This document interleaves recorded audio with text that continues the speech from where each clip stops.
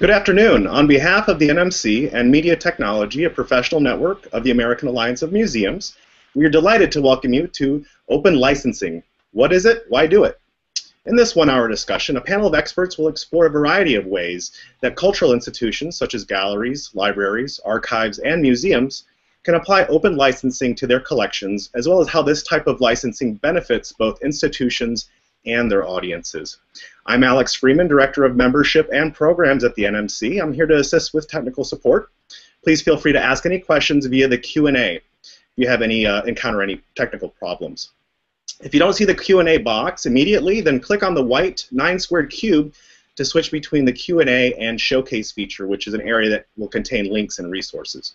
So sit back, get comfortable, and enjoy the following discussion. But first, a bit of logistics. In this session, if you have a question, you can type it into the Q&A, and also plus one a question that you're interested in having answered. We'll collect your questions throughout the program and try to weave them in as we can.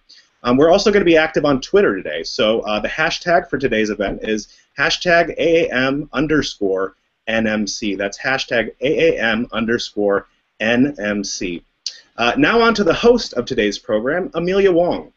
Amelia is the Assistant Professor of Museum Studies at George Washington University and Chair of Education and Webinars for Media and Technology. Take it away, Amelia. Thanks, Alex. I want to extend my welcome to the audience as well today. Uh, thank you for joining us for our first program with the New Media Consortium and our first program using Google Hangouts. Media and Technology is one of AAM's 22 professional networks. We represent professionals in the museum field who specialize in technology for infrastructure and interpretation issues. We conduct technology training at the AAM annual meeting. We organize the annual AAM Muse, Awards, which recognize outstanding achievement in museum media. And we host professional development programs like this one based on feedback from past programs, we know that uh, many in the museum field are interested in open licensing, learning more about it. So we're happy to bring to you today a panel of experts on the topic in the hope of furthering that conversation and inspiring people to do more. I'm thrilled to have today moderating our discussion Michael Edson.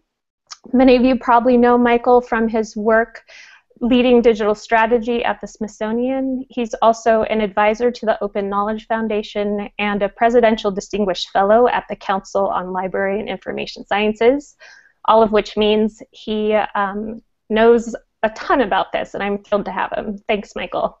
Thank you, Amelia, for all your work on this, and Alex and uh, Greg from AAM as well, and a special thanks at the beginning to Susie Saraf, who is the chair of the Media and Technology Committee at AAM, and I think Susie's worked hard for more than a year to get this program uh, off the ground. So thanks, uh, AAM Media and Technology, and everyone from New Media Consortium and uh, the broader community. So here we are. Um, we have a tremendous panel today. And uh, for those of you dialing in, I understand we have between two and 300 people monitoring this uh, Hangout. We'll go till the top of the hour. And the format here is um, we're going to talk and uh, have a casual uh, conversation about open content and open licensing. Um, you all follow Twitter, use the Q&A in the Hangout. Uh, Amelia and the, uh, uh, Greg and Alex will monitor that, feed us questions, and we'll take it from there. Um, and I want to make sure someone who's following along posts the URL for this stream to the Twitter hashtag, which is uh, AAM underscore NMC. So, with no further ado, uh, let me introduce the panel today. Um, I'll go down the line from left to right, and uh, why don't each of you say a little bit about yourself and about your relationship with uh, open content as we get into it. So, on my left is Diane Peters from Creative Commons. Hi, Diane. So, I'm the General Counsel of Creative Commons. Um, I have had the privilege of having this spot now for more years than I can probably count. Um, open content means a lot to me. Um, I love enabling people to share through our tools, um, keeping them vibrant and relevant for the rest of the community. And I particularly love seeing them be picked up by museums and other GLAM institutions as a way of really increasing their impact. Um, I really appreciate being here today, and I look forward to the discussion. It's so good to have you here. Um, and we understand there's new news. Um, regarding the uh, uh, Museum of Modern Art and the Creative Commons logo. What's that, Diane? No, exciting news. Um, MoMA has agreed to acquire um, rights to incorporate our logos into their permanent collection. Um, we announced that yesterday on our blog. Um, the idea behind the exhibit is to uh, honor those symbols that make everyday life uh, usable and a reality for people, especially on the internet. And so um, check out our website for a blog post on that, and there'll be a further blog post talking about our design principles, etc. tomorrow. So um, thanks so much to MoMA and to the two designers who helped us uh, develop our logo system. That's really cool. Um, next in the lineup is Peter Dueker from the National Gallery of Art. Hi, Peter. I'm at the National Gallery of Art. We started uh, our open access policy for works of art presumed in the public domain in 2012. Since then, we've had over a million images downloaded from our website, which is uh, images.nga.gov. So I'm excited to be here, talk about our experiences with that. Super cool. And next to Peter is Rob Lancefield from the Davison Art Center in Wesleyan University, Middletown, Connecticut. Hey, Rob. Hey, Michael, and everybody. Thanks for having me here. Um, open in our world really means uh, making things available for people to learn from.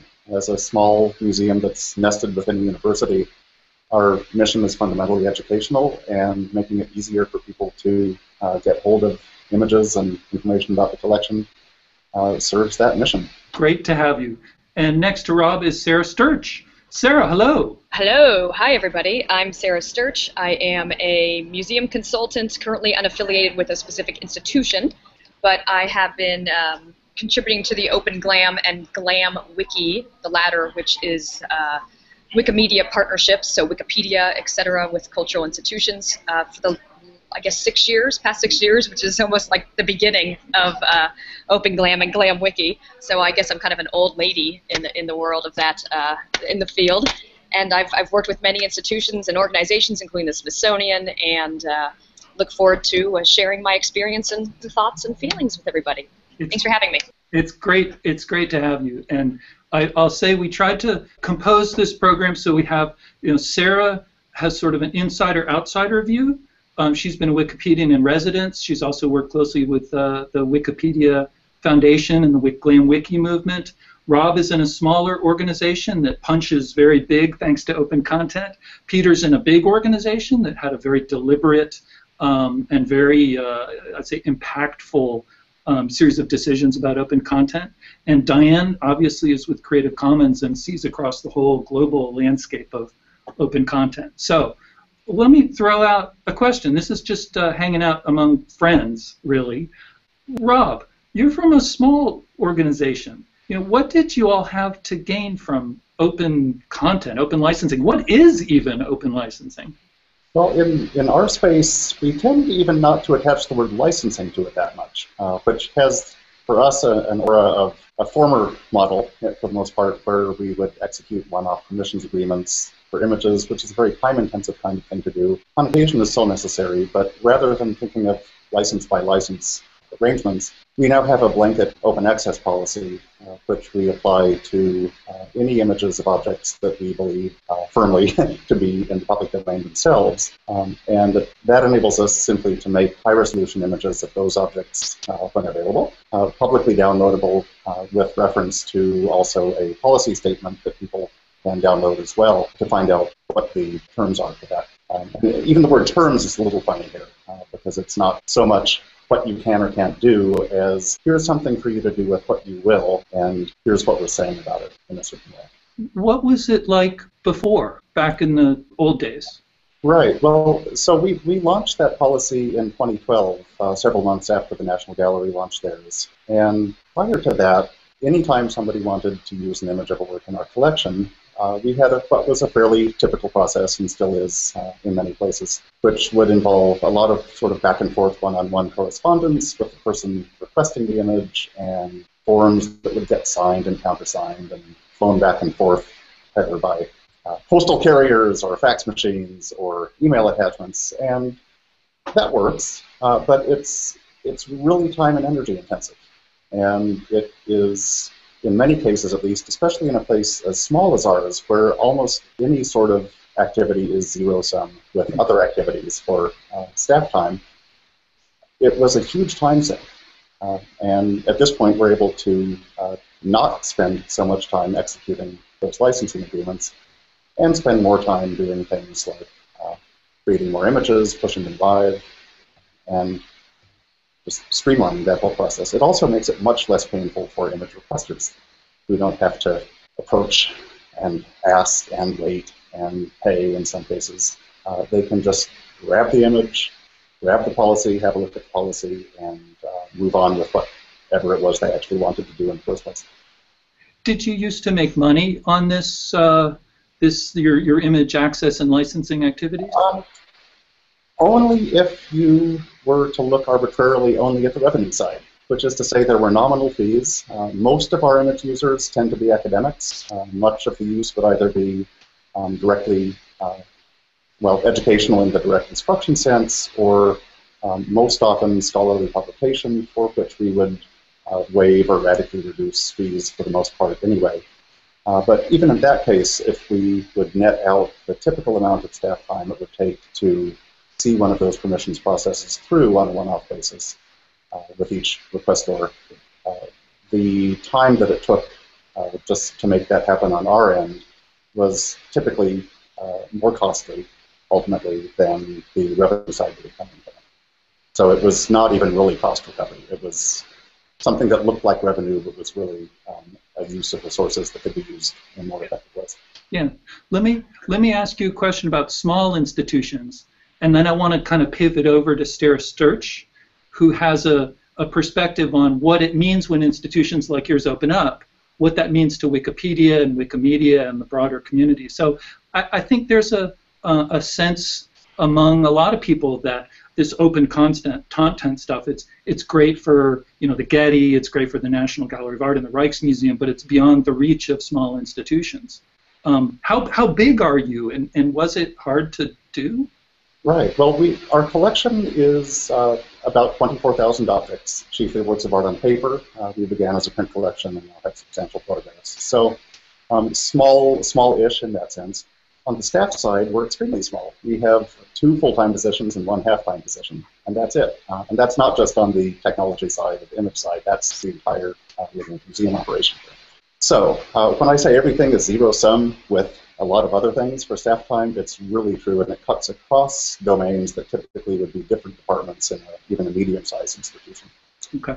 Um, how that plays for taking steps on the path towards providing more open access to these kinds of digital resources. Um, it means on the one side there's great upside to. We lost Rob, but let me take it over to Sarah Stierch. Sarah, you've seen this from all the organizations you've worked from. They start opening up their their collections, meaning they move from a a really carefully controlled, licensed copyright one at a time workflow to where they pre-approve content to be used en masse through Creative Commons licenses or by putting things in the open domain, uh, in the public domain. What does that what does that do for these organizations, and how can you use that to help them do new things?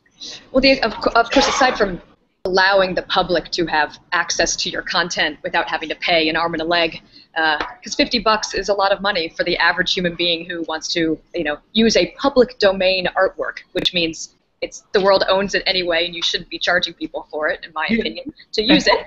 And we'll come back and define some of these terms later. So yes, yes. So um, it's it, it just it's it, one it saves the public money, so I think it's really nice, and uh, it lets us use it. But of course, most importantly, it, it allows it to be free and roam the world in a, in a broader way than it ever would just on your website or through a uh, restrictive license where we could get in trouble if we reuse it, right? So Wikipedia is one of those great examples. I'm sure if I asked everybody in the room, uh, all 300 plus of you, to raise your hands on how many of you use Wikipedia on a daily basis, most of you would probably raise your hands, even if you secretly wouldn't want to admit it. And opening up a cultural, uh, your, your, your content through open licenses that those images are able to be used on millions of Wikipedia articles in over 350 different languages. And more people are going to see those images the, and the objects from your collection than they ever would on your website, and frankly, than they ever will when they come through your institution. And I, I think that just has such a powerful influence, and, and also kind of makes you look like a truly open institution, which, in my opinion, all cultural institutions are here to serve, serve the public, right? And if we're not sharing the, the cultural heritage materials with the world, then uh, we're not doing our job. And, and one more quick little thing is a lot of institutions release their content on Flickr, which is a media repository for, for, photography and things like that. And the really cool thing about that is not only are we able to download those images and, and use high resolution images without having to go through your staff or your website, but I've, I've been talking to, to uh, archivists and curators from around the world who say we post a photograph from our archives and all of a sudden it travels around and people start to say that's my grandfather in that photograph and you start to have your collections and what's curated for you with this unique history that you maybe could have never found unless you released your content openly there's so many great examples of that and um, but actually maybe that's a chance to pivot to one of these other big issues um, uh, and I'll, maybe I'll direct this to Peter at this point. And I can see um, out of the corner of my eye, I'm being messaged about questions that are queuing up. So um, I'll try and spy those out of the corner of my eye and, and go. But, but um, Peter, there's always this question about when uh, institutions put their collections online and open up and, and allow um, uh, their, their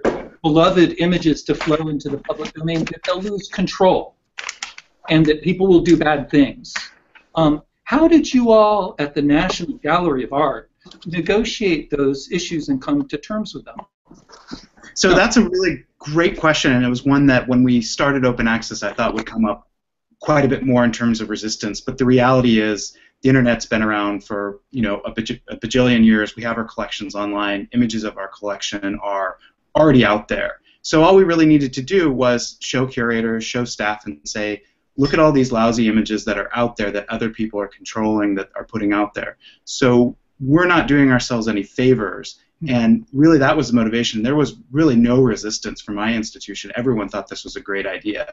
It just became a question of, you know, how do you actually achieve this? But people weren't worried about being gatekeepers in that sense. I think that's, you know, kind of a, uh, fortunately a, an idea that's kind of going by the wayside. We haven't we've been up for three years. We haven't seen anything terrible. In fact, just one quick anecdote. I was really excited. There's a new TV show called Last Man Standing on Fox, and there were a ton of our images in it. There were a ton of images from the Getty. That's awesome. I love that. I mean, it's you know, a guy spilled the beer on a Rembrandt. I thought that was you know horrifying, but also sort of funny. So I'm glad to see these things out in the culture. That's great. You're reminding me of that quote from Taco Dibbits, the curatorial director at the Rijksmuseum, who said, We want people to reuse our images. If they want to make toilet paper out of our paintings, I want it to be the highest quality toilet paper they can make.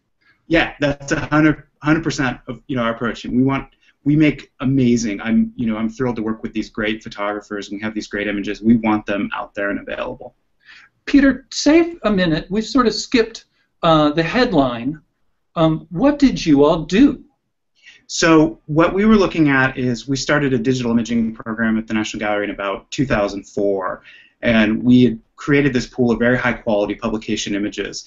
But our rights and reproduction pass, uh, practices, just like Rob was saying, were very much grounded in transparencies and this idea of lending images, and they weren't. It wasn't modern. It needed to be modernized and to take advantage. What we were seeing a lot of was people wanted self-serve. They wanted high school students wanted images for websites. You know, people wanted to do different things with them, and we realized we needed to set up some sort of repository for that. So that was really the sort of the beginning conversation, which I believe was around 2008. It took us, you know, some time to get to that point, but once we got there, I think we just kind of went all in.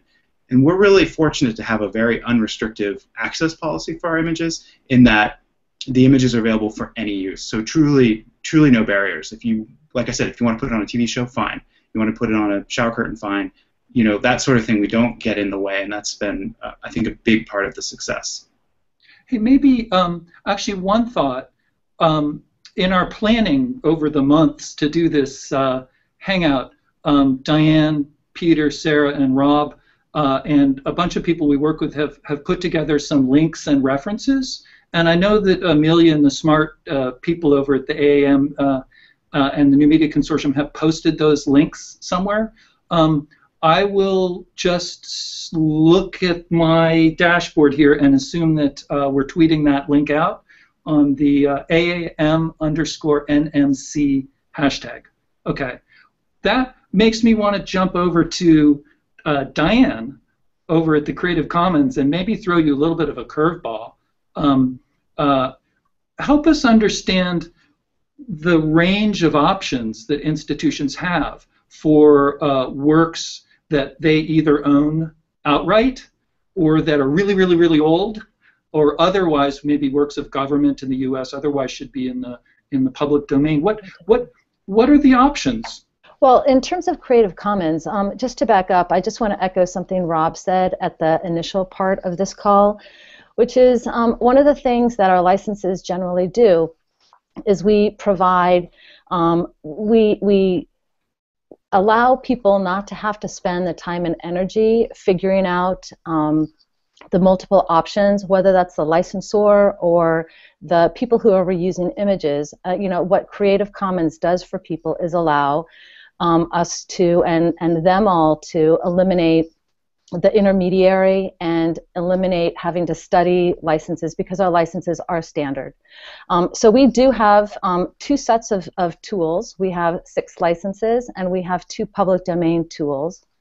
Our licenses sit between um, the default um, in the United States and everywhere else of all rights reserved, and the public domain, which is um, either a work that has fallen into the public domain, or, or as I prefer to think of it, as graduated to the public domain or works that never should have been in the public domain in the first place. And then how one can relinquish rights to something that is currently under copyright or works that just have never been in copyright. So two buckets of, of tools that we have. One is our licenses for works that have rights associated with them, and another bucket for works that either the creator doesn't want to claim any rights in or don't have there are no existing rights in them and so our licenses um, come down to a couple of elements only and um, and what we found over the many years that creative commons has been around is that I, th- I think we got our elements right. Um, so um, I don't know if many people know this, but at the beginnings of Creative Commons, we actually had a license that didn't require attribution. And we quickly determined that that license set never got picked up and used because, after all, all artists, all people who create at least want the option of requiring attribution. And so, what, attribu- what, is that, what is attribution? Attribution is the means to be associated with your work as a condition of someone else reproducing it in a way that copyright doesn't otherwise allow. So to be named as an author, which also correlates with moral rights in many countries around the world. It's also um, some marking requirements, the right to require people to link back to your original work, um, and the right to insist that a copy of the license or a link to the license be associated with your work. So attribution is both an association and then some marking pieces that are under our licenses. So all six of our licenses require that. And, and that's a requirement that if you don't abide by it, then um, you're not supposed to be exercising those rights as a matter of copyright. So attribution is core.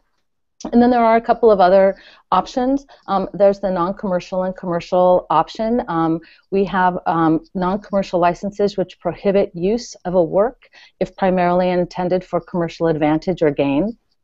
Um, those licenses used to be our most popular licenses and then have been eclipsed recently in a couple of er, areas in particular. Um, the no derivatives license says that um, you can reproduce my work for commercial or non-commercial purposes depending on whether you pull in the NC element, um, but just don't change it in a way that creates a new work as a matter of copyright. And then there's the share alike option. And this is what um, Sarah has talked about and we'll talk about more. But um, share alike is a way of requiring people, when they make a copy of your work and then they build on it to create a new work, that they have to share back those contributions with the larger world. So Wikipedia has this as their license of default. Um, you can upload just attribution only licenses, licensed works to Wikimedia as well, and also public domain works, but BY-SA is their gold standard. I'm a small museum somewhere, and we have a work that we own the copyright for. Mm-hmm. So all of this, of course, a big part of this process is uh, working with your internal staff, your curators, if you have someone who does rights and reproductions, to understand what you do and don't own. But I work in a small museum. I know we own this body of content. is the is it that I can use Creative Commons licenses to in advance give everyone the right to reuse, the, reuse those that thing under certain conditions? So that depends on the terms of acquisition that you have from the original artist or the estate or whomever was the donor of the work to your museum. And so for everyone on the call and in this hangout, um, it's really important to understand what rights you have. Um, if it is a true assignment of all copyright and related rights, then of Let's course you have the permission yeah, as, as a museum yeah. to to license it as you will, and and that's when you have um, a really beautiful suite of options to choose from, um, from our most liberal license, which is the BY license, to um, our most conservative license, which is require attribution, don't allow anyone to commercialize it, and don't allow anyone to change it. Um, I would encourage museums which have uh, a public-minded mission to consider if they do in fact own all of the rights to a work to think about how um, the more liberal your license choice is, the more um, the more um, you can accelerate its review and use by uh, the global public. Let me turn that over to Peter then, and I'm going to say an administrative note there's so many questions coming in. It's like the sidebar that we see is just like a blur. So I'm going to ask Amelia um, Wong from uh, the AAM and the uh, Media and Technology Committee. Amelia, in about 10 minutes, I'm going to call on you to come on mic and pitch a couple of these questions. Um, and I promise that we'll uh, we'll review them all afterwards too, and, and publish some answers somewhere. So I don't want to leave anyone out, but it's like I'm riveted by what our colleagues are saying, and I, I can't multitask that effectively. So, um, Peter, you guys at the National Gallery of Art, um, probably in the U.S., you could have claimed ownership over the images you released and put a Creative Commons license around them, but instead you chose to uh, put them into the public domain. What are the differences between those two things, and why did you do that? So just for a point of clarification, I, I think we we really were careful to not make any declarative statement. What our open access policy says is that we presume that these uh, objects are in the public domain, and we're making the images available. But we're not necessarily asserting one way or the other. And that's really more a question for you know our legal team that look closely at this. We absolutely respect artist rights. We absolutely respect copyright. We're very conservative. At the same time, we didn't want to introduce anything that might be a barrier or confusion. And I think uh, Creative Commons is a great option and it's a great way to go. But for our institution, we wanted a plain language policy that was just very clear and very upfront that people could look at and they could understand and we're certainly, um, uh, you know, I think Creative Commons is fantastic, and I think it's a great option, particularly for works that may be under copyright, where artists might want to make them available. But in our case, it, the open access policy was something we kind of wrote ourselves and kind of grew out of our own institutional needs. Yeah, and and and what does it? Um, what do you actually? Uh, let me think how to pitch this question. Um, if I'm coming, if I'm an artist or graphic designer, actually, I think I saw one of your pictures go by on the side of a metro bus the other yeah, day. Right. Um, um, if I'm a graphic designer, if I'm making a, the next killer iPhone app, if I'm a student, if I'm a scholar, I go to your Open Images site. What are my the obligations on me before I make my uh, next uh, million dollars on National Gallery of Art image coffee cups or something? It, was very important for us to be unambiguous. We did not want part of it is practical. You know, the more people who write to us, you know, that's that's an institutional burden. But we also just wanted people to understand what they could. We didn't want to have a lot of you can do this, but you can't have text. And we didn't, particularly in 2012, it was quite a bit different. I mean, this was, it's hard to believe now, but this idea of open access and open content was so new back then, and people didn't really know entirely what it meant. So we wanted to be you know very clear. So there are some you know there's some comments on there. We're, we're careful about endorsements you know you using our name and that sort of thing. But otherwise you're free to do whatever you like with these images. We really i know the title of this hangout is open licensing but we really stepped aside as rob mentioned earlier from this idea of licensing. We don't get into use. We provide images. Yep. and we, it's up to you to use those images. Okay. And i see in the sidebar that diane was raising her hand. Do you want to do you want to jump in diane Sure, I'll, I'll, jump in super quick. So um, I think that uh, in terms of uh, the no known copyright restrictions that a lot of people are using, um, we have, you know, I completely respect those. In fact, when I was drafting our public domain mark, I examined every single one of those on Flickr Commons to figure out, you know, what is it that institutions feel that they need in order to make a general statement about no known copyrights. And um, and so, as beautiful as all of those statements are, there are some benefits to using the Creative Commons public domain mark, which essentially does the same thing. I mean, we modeled it, after all, on those. And so, this goes to both of our all of our licenses and our public domain tools. Um, we express all of our tools, including our public domain mark, um, in several ways. For our licenses and our public domain dedication, um, which I'd love to talk about a little bit later, um, we express it in a really robust legal code that is understandable internationally, is translated into official languages around the world, and, um, and lawyers trust those. Uh, we also have a human readable layer to our, our um, all of our legal tools. Um, this is where the public domain mark comes in. Again, we modeled that after the no known rights restrictions that Flickr Commons was using commonly. And then I think that's what what's really um, key is that we do have this machine readable layer to all of our legal tools.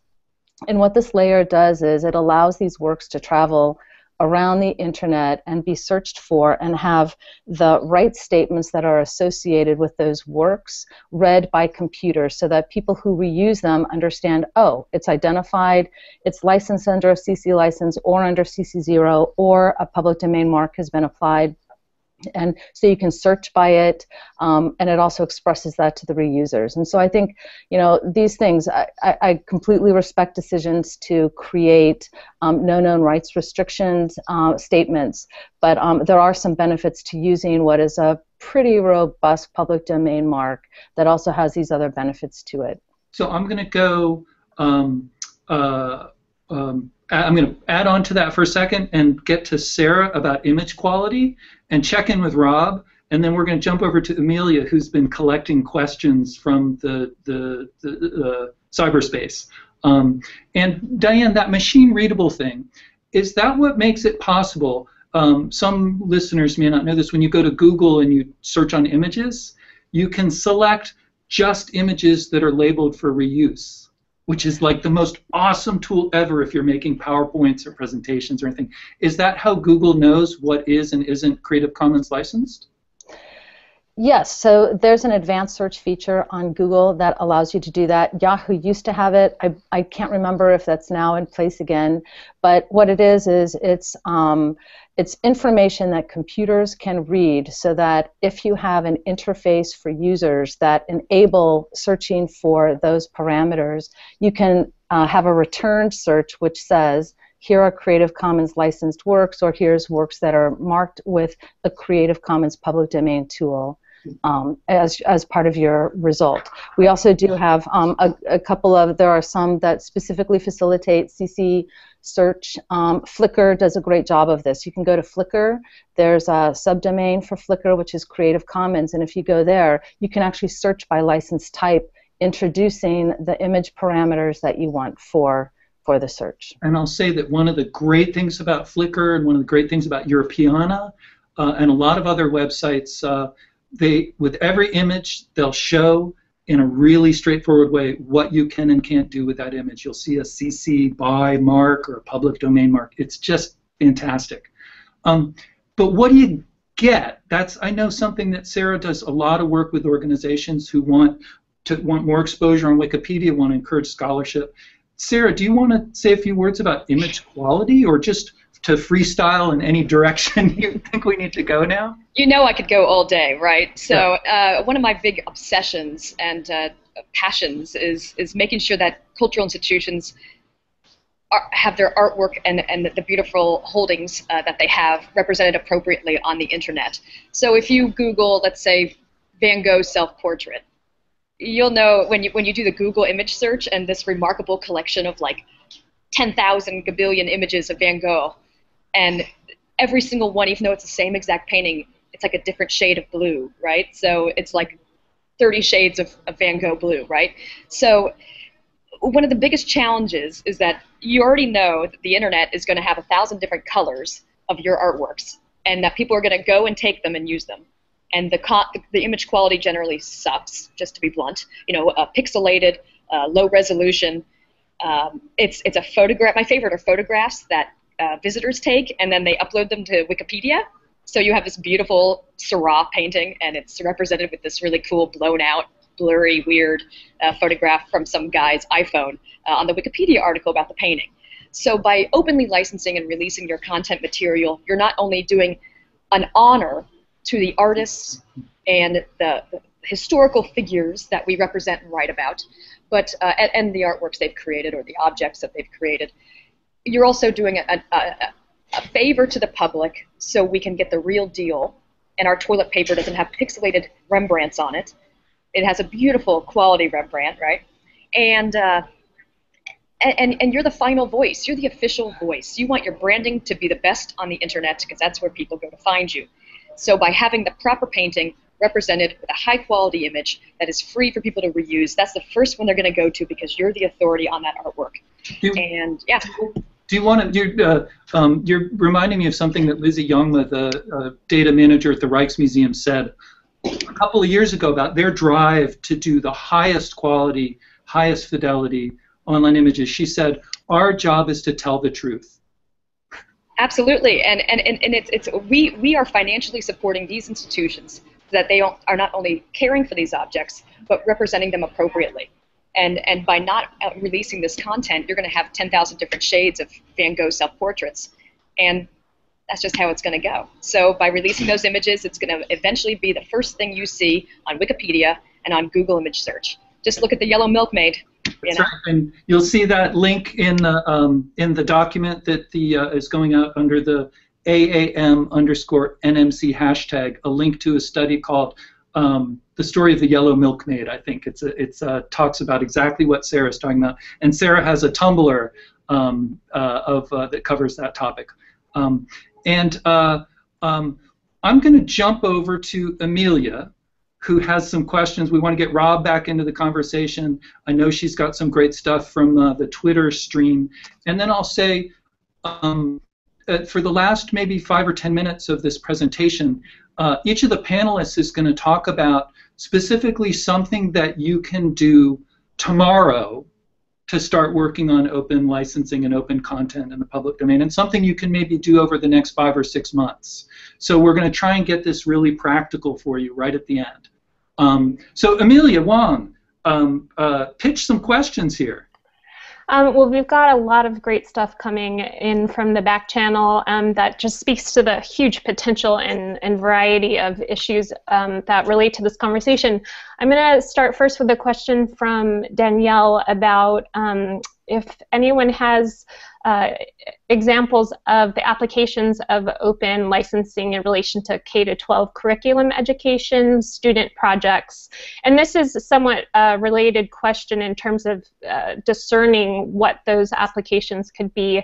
Joris Pekel had a question about how institutions might be tracing back where their images are showing up. Um, do you use reverse image search, and have you found anything interesting? So, whoever wants to field those let's go with that K through 12 um, question. And I don't want to put words in anyone's mouth, but I know that um, uh, one of Diane's colleagues, um, Cable Green, works on open education with the Creative Commons organization, Open Education or OER, Open Education Resources, um, uses open content from our organizations yes. to make better, bigger, cheaper, more accessible, more change-worthy um, uh, textbooks, classes. Many people know the uh, MIT Open Courseware Project and similar initiatives. Diane, or if any of you, I'm, I'm look, making eye contact with your little beautiful little icons down there. Wink at me if any of you wants to jump in there. Otherwise, I'll let Diane hold forth for a minute. Oh, Peter's got a little wink. Diane, you want to say a few things, then turn it to Peter? Well, I yeah, certainly. So I'll just say that there's no question that open licensing is enormously powerful in the OER K through 12 and also upper ed uh, world.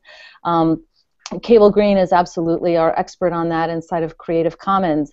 Um, I will say that um, what is what is wonderful is to empower teachers and educators to take content, the best content that they can find anywhere, um, whether it's from museums or um, libraries or what have you, and enable them and empower them to take that and implant that into their open educational resources. And it's only because of open licensing that they're able to do that. Um, what teachers do not have time for, and what students don't have um, time for, and their parents, frankly, anymore don't have the risk tolerance for, is going out onto the internet and just pulling down anything that they find and reusing it. Um, so it's a, it's a powerful tool, and the more that galleries, libraries, um, archives, and museums are able to leverage Creative Commons licenses and, and means for making them free and openly available, know that teachers are going to be going to you for the definitive, most beautiful print, as Sarah has indicated. Know that they're going to be pulling them into your resources repurposing them in the classroom, translating those for um, uses that you can't even imagine in far flung areas of the world where the resources get translated or explained in a, in a language that you never anticipated. Um, and it's extraordinarily powerful and, uh, and I would ar- uh, argue a critical piece for the success of um, both museums and their continuing relevance um, in what is increasingly an open educational resourced world. And Diane, so, am, am I correct that the Creative Commons uh, website has uh, case studies about um, uses of, of uh, all kinds of cultural materials openly licensed and in the public domain that um, help grow and scale education? Absolutely. So there are a variety of links in the materials and on the Facebook page that you've been provided with from Amelia. You'll find lots of resources there. And if you don't find anything that you need to find there, please contact me and I'll put you in touch with Cable or anybody else at our organization who really are the go-to experts for, you know, leading case examples. Yep. Um, but museums play a really important part in that for all of the reasons that Sarah and I have talked about. Peter, Rob, Sarah, do either of you want to uh, address that topic or take another question? I'd love to just real quick dive into that question, which is just two things. One for institutions, don't forget about uh, policies. All you know, very important, of course, but make your images easy to get. You know, provide tools for educators. Um, the National Gallery of Art, of course, does a great job, but so do places like the Getty and LACMA. You know, there's just make those materials beyond just images, but your own resources. And then for the users of those images, if you're developing course materials, keep that in mind where you got those images. Don't lock up your course materials. This is a great age for teachers. Share what you're doing. Talk about your writing. Put if you're writing about one of our paintings, we want to hear about it. We want to know what your thoughts are, how you're communicating this to your students. And I'm, I'm remembering, Rob, you work in an educational institution. What is the what is the um, uh, has there been an impact of this on teaching and learning at uh, Wesleyan University? Uh, well, we, to be frank, we don't have measurable uh, information about that just yet. Uh, this is fresh enough, and we're rolling it out um, in these chunks of content year over year in a way where uh, where we currently stand is we do have download logs that show us people are, are getting hold of these things. I think in a to, to, use a technical term as a metaphor, I think there's a little propagation delay of a sort, which is to say um, people tend to grab these images down. They're probably also uh, finding other uh, image resources from other providers as well. And I think then there's some time as people are building those into teaching materials and such that we would then hear about. Um, i will just say, looping back to a different piece of this question, uh, that one of the ways in which we do try to find out what uh, people are doing with these images, aside from uh, just knowing that they're downloading them, uh, is the policy in a in an optional kind of way uh, does ask that people who use images out on the web use a standard little phrase DAC open access image from the Davison Art Center, Wesleyan University, which is in part a, a credit uh, sort of thing, uh, but it's also in a more practical looping back kind of way enables us then to search for that phrase and find places where an image has been used. Um, and we also just let people know that we're very happy to, to hear anecdotal uh, tales of what they may have used an image for.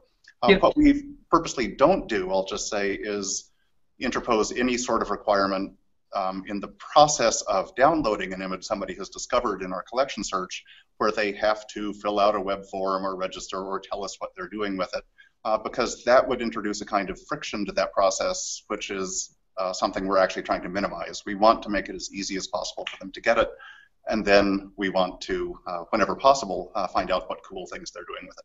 Yeah, and that's I'll say also we often make the mistake that we think people just want one of our images.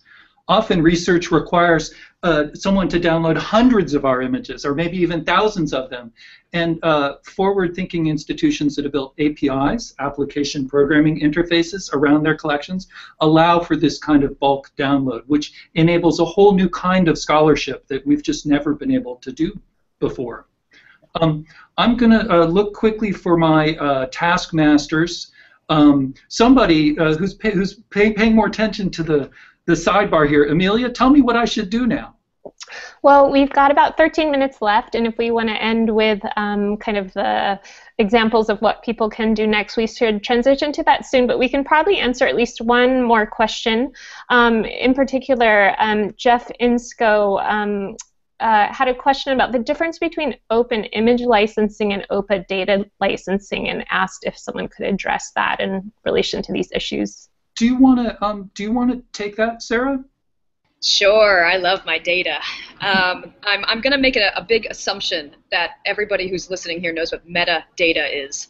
Uh, many of you often work with collections, so it's uh, one of the first things you've kind of got to know about if you're going to be working with collections and collections management systems. Uh, so the metadata is basically the invisible. Uh, it's the inside of, of, of, a, of a, an object, right? So you have your digitized picture, and then you have all the stuff that's wrapped up inside of it digitally. So that the name of maybe uh, who donated the object, the name of the object itself, when it was painted, who created it, how big the image is, how small it is, etc. And uh, Michael gets very excited about metadata. We have a chat up here, and he went, "Ooh, metadata!" Sorry, I'm being distracting. It, I, I, it's okay. It's okay. I, I, get excited about it too. So, you know, you have your open licensing for your image. So that's for the picture of the artwork of the object itself, and that, of course, is creative reuse. We're allowed to download it for free, put it on Wikipedia, whatever.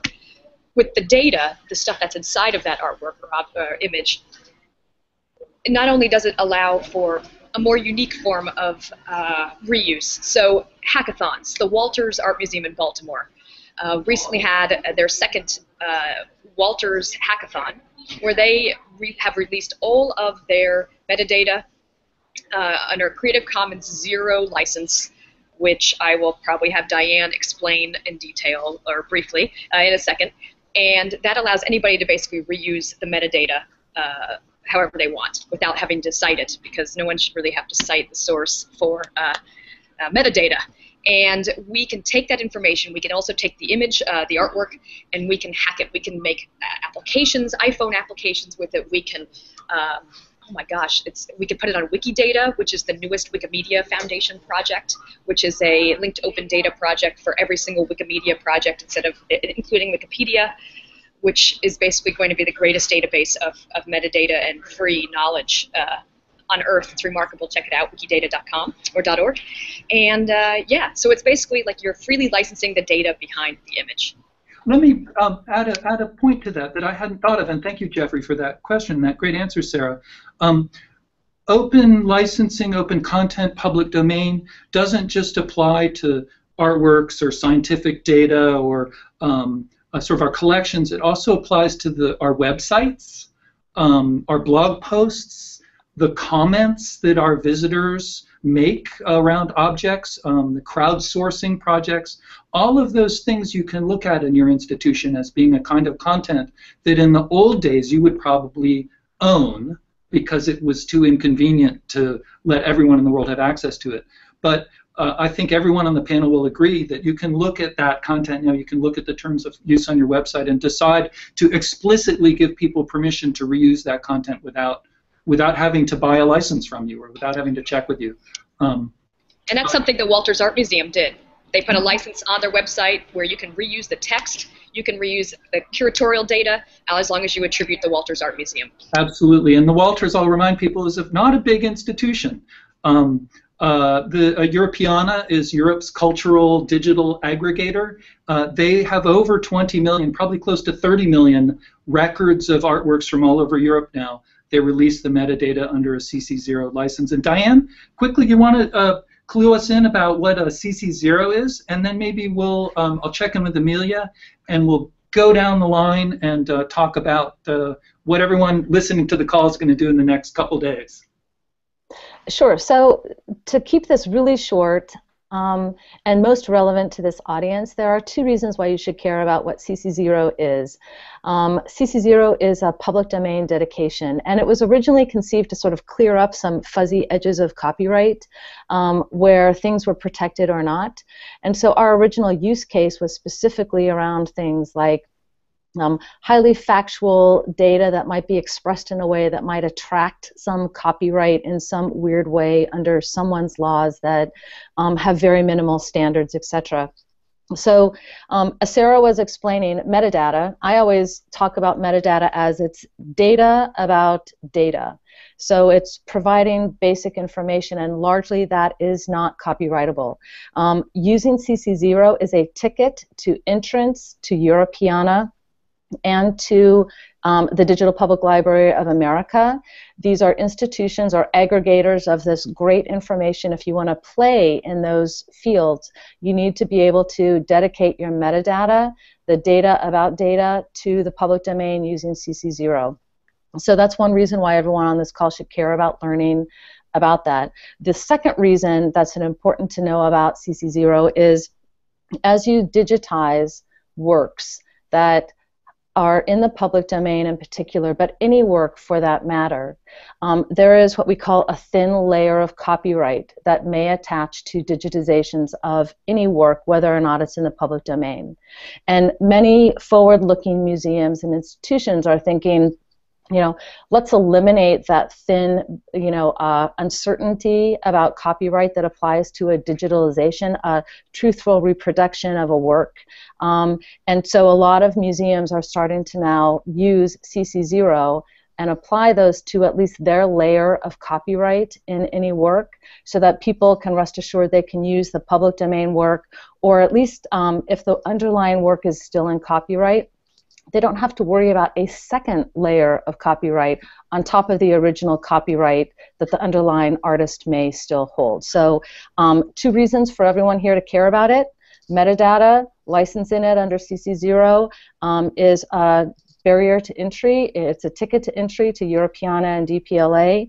And um, think hard before you start asserting copyright or licensing works once you start to digitize works where really you have no um, solid business model for doing so, and you just want to give assurance to the public that they can look to at least only the underlying copyright, if any, in the work that's been digitized.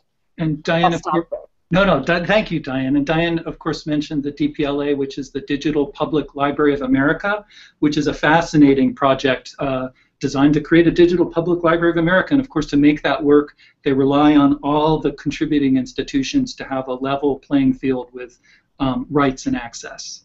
Um, Amelia, uh, we have about six minutes left. Um, uh, shall we go to? Uh, shall we go down the line, or um, is there another question we can pick up? We do have um, a question from Neal Stimler asking specifically about how can museums encourage contemporary artists to um, share, or I guess when they um, have their work acquired with museums, to have it have it okayed under CC for this type of use. Um, That's a great question. Does anyone uh, want to jump in on that? I think I think I could say briefly that it's a great question, and um, a lot of thought and effort is going into uh, works of art that are born digital. So they start their lives as digital objects, uh, and of um, asking artists and asking donors when they give a work to an institution to allow that work to um, have a life on the internet uh, under a Creative Commons license or actually to be in the public domain. Uh, also, the Wikipedia uh, GLAM community has some great case stories about um, going back to individual artists whose, whose estates or who they themselves have asserted very strong copyright and asked for them to relax copyright so that works could go into Wikipedia articles. They've almost always said yes and enjoyed terrific exposure and result in public good as a result of that. Um, so that being said, uh, one or two notes. One is there's a terrific long, fast Twitter stream going in the background. We're going to create a Storify summary of that, and there's some real, true experts and deep thinkers there. Um, I wish we had time to talk to all of them. Uh, and I'll say that that's been one of the great joys of learning about open content for me, is that the community is so welcoming and, I guess, no surprise, open, um, uh, that it's really a great place to learn. Uh, it's a global community, pretty much every language on earth, um, and just very welcoming and, and, supportive. So definitely check out the hashtag um, uh, AAM underscore NMC, and we'll be posting a storify of all this later. So that being said, um, I'll go from my right to left, starting with Sarah. Is that okay? Um, we uh, we want to talk about something that the listeners can do in the short term, the next day or two, and then something over the next several months. What do you got, Sarah? Sure. Well, just something quick that you can start to do is if you are a Twitter user, and if you're not, you probably should become one, at least for the sake of following a couple hashtags. Uh, hashtag Open Glam, O P E N G L A M, and hashtag Glam Wiki, G L A M W I K I. That is basically where all the people on the internet who are into this stuff talk about it. Uh, through, I mean, it's everything. You can ask questions, you can meet other people, and a lot of the people who are thought leaders, including many of us, uh, on Twitter uh, talking about Open Glam and Glam Wiki, which is the Wikipedia partnerships. Uh, something you could do in the in the in the in the future. I would say, you know, visit openglam.org, visit glamwiki.org, and get in touch. You can get in touch with someone like me. Uh, I lecture about this. I I meet with people around the world and, and have the pleasure to be able to help a lot of you open up your collections. So just get in touch and say, hey, I, I want to try this. I have some low hanging fruit in my collection, and I'd like to see how we can share Get in touch with people. That's really, really great. Rob? So, uh, time is flying. I'll just say one thing you could do really soon, which is even if it seems too intimidating or as though there'd be too many internal uh, administrative hurdles to doing something on a uh, collection-wide or institution-wide basis, uh, think about one object in your collection that you know people love to use images of, that you know is in the public domain, and think about whether you might just declare a high-resolution image of that one thing uh, free for everybody to use, either with a CC license or with a first version of an internal policy or just a no known rights restriction statement and uh, put it out there. See what happens. Uh, if you want to move it forward for more objects, then you would have something concrete to point to um, about the wonderful things people have done with this one thing that was, uh, as Sarah said, the low hanging fruit. That's a great answer. Peter?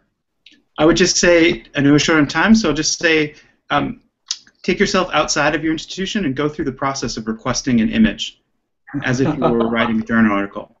And um, see how that process goes. And if it hurts, then maybe that's something you need to look at. That's a, that's a great, a great one. Thumbs up to that. Um, Diane. Well, it, you know, so hard to to write on the coattails of all of these great ideas my colleagues have here. Um, I think that one of the single most important things you can do is um, find someone who is your contemporary or your peer in another organization. Um, lots of, you know, if you go to Flickr Commons, for example, or you take, please take a look at um, Creative Commons' um, latest and greatest slide set with a lot of examples of institutions who are leveraging them. I mean, it, it's overwhelming. There's no question about it. Um, so I completely support, you know, find a peer, start really, really small. Um, find one or two things and and just the buzzword um, that we have found successful with a lot of museums and libraries and archives is pilot use the word pilot, um, use something that is uh, that you expect to get a lot of traction to, that you are simple in terms of copyright rights, so something that you own all the rights to are in the public domain, experiment, and then once you show that the sky doesn't fall, um, then that's sort of a gateway into you know experimenting with a larger policy or what have you. But um, most importantly, talk to your contemporaries and peers. That's you. You remind me, and it's it would it's a little um, it's a little devious of me or a little uh, tricky of me to try and end on this note. But you guys know I've been saying for years: think big, start small, move fast. Amelia, you want to wrap it? Yeah, great. Thank you, Michael, um, Peter, Sarah, Diane, and Rob. You guys are great. I mean, clearly the discussion today shows that this is um, such a large issue, and this is just a beginning for media and technology and new media consortium to address these issues. Um, to that end, I also want to thank our audience. You've been sharing amazing resources and also uh, speak to the range of things we can address in future programs. Uh, to help us do that, uh, we're sharing an eval link both through Twitter and the Q&A. Um, please take a few minutes to fill that out and give us some feedback so we can improve future programs, but also decide how to move forward. Um, one of our goals today was to help people build their network and awareness on resources of this issue. Um, I know what we've covered today is a lot, um, kind of scratches the surface, but we hope to do more of this in the future um, and encourage you to keep in touch with the panelists through Twitter um, and keep using the hashtag AAM underscored NMC so we can keep track of those comments and ideas. Um, and I just want to thank you for joining us today and hope you stay tuned for future programs. Thanks a lot. You're great. All right. Pose for a selfie, everyone. Here we go. All right. Thanks, guys. Oh, wait. No, I need to redo it. Don't go yet. the sticky thumbs. All right. You ready? Smile. there. All right. Excellent.